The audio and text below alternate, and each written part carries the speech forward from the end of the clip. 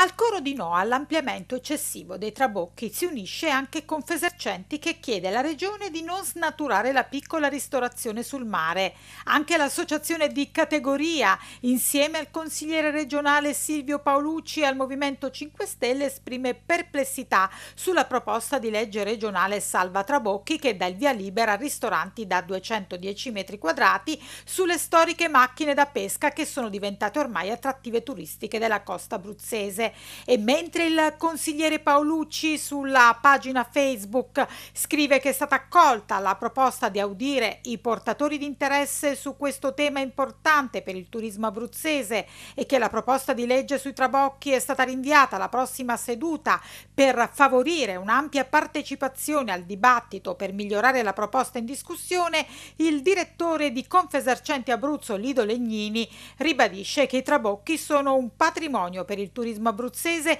e vanno valorizzati nel rispetto del mare Pensare di trasformarli in mega ristoranti sul mare è profondamente sbagliato e molto provinciale. Bisogna recuperare dire, lo spirito iniziale che, eh, della legge per la valorizzazione dei trabocchi. Qui si dà la possibilità eh, di arrivare fino a 210 metri quadri con 60 posti a sedere. Dal nostro punto di vista, insomma, questi non possono essere dei ristoranti sul mare, sono i trabocchi, bisogna recuperare quello che è il trabocco originario eh, e quindi eh, dare la possibilità di una piccola ristorazione accessoria al,